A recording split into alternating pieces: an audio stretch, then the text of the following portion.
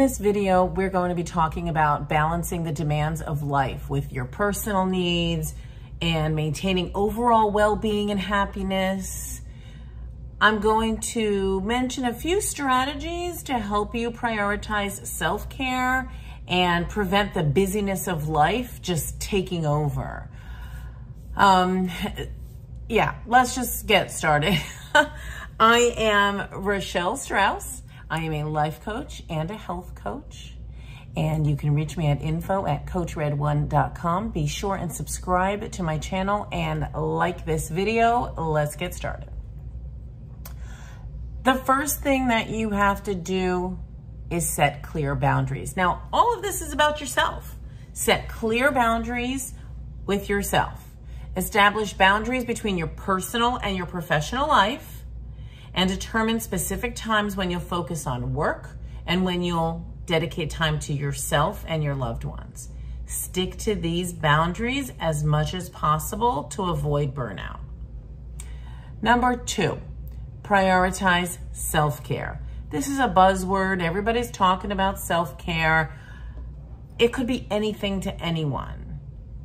Prioritize self-care. Make it a priority by scheduling on your calendar regular time for activities that nourish your mind, body, and soul. This could include exercise, meditation, hobbies, spending time with loved ones, or just relaxing, reading a good book, and doing nothing very important. Number three, practice time management. Use effective time management techniques that work for you to maximize your productivity and minimize wasted time. Prioritize tasks based on importance and urgency and delegate when possible and avoid overcommitting yourself to avoid feeling overwhelmed. This is a good one. You ready? Learn to say no. Don't be afraid to say no to additional commitments or requests that don't align with your priorities or values. Saying no is essential for protecting your time and energy for the things that truly matter to you.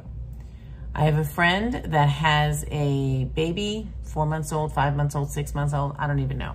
She has a full business that she runs and she just told me, I don't I go to an event that I have to go to, a meeting that I have to go to, I run back home to be with my child. That's a boundary. That's saying no. She doesn't go out with her friends right now. She doesn't hang out, do things that are not essential. She just says no, and nobody says anything about it. It's her choice. Delegate and ask for help. That's number five. Don't try to do everything on your own. You are not superwoman. You are not superman. Delegate tasks to others when it's possible. And hopefully they have boundaries and they say no if they can't do it. So they don't get let leave you with it. So just delegate to people who are responsible. There's the answer to that.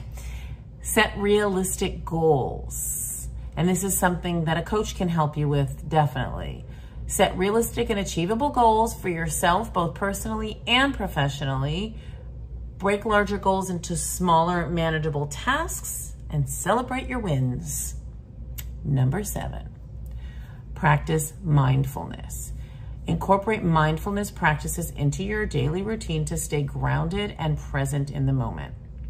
Mindfulness, mindfulness meditation, deep breathing exercises, or simply just taking short breaks to center yourself, to ground yourself. There are many, many options out there for mindfulness. Limit your screen time. Set boundaries for yourself around using technology and social media, and that'll prevent them from consuming too much of your time and attention. And you won't get stuck going down that rabbit hole and then, oh my God, all these hours have passed and I didn't do the things that I need to do for work. That's how you manage that. Set, uh, secondarily, prioritize face-to-face -face interactions. Less so on social media, more so more so face-to-face -face interactions with, with people. It's better for your mental health.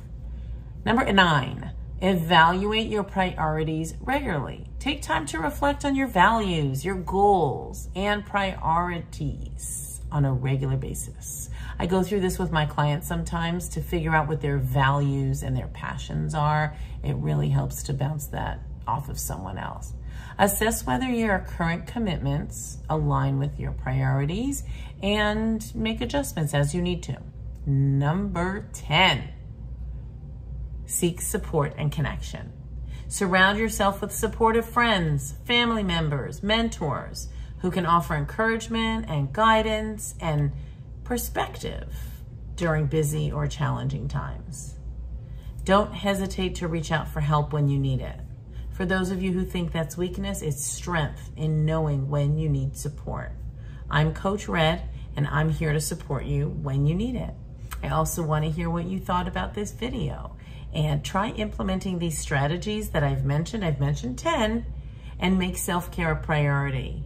Comment in the comments below. I'd love to hear from you. Thank you for watching. Head over to CoachRed1.com where we have free resources and blog posts that will help you and your family's journey and your health. Be sure to like this video, share it with others who might like this video, and subscribe to the channel so that you never miss a video from Coach Red.